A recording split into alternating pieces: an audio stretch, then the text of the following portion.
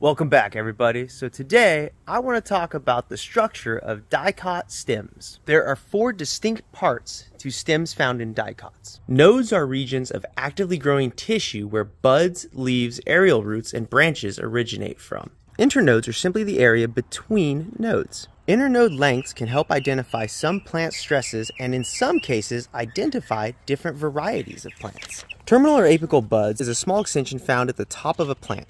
Terminal buds are always actively growing.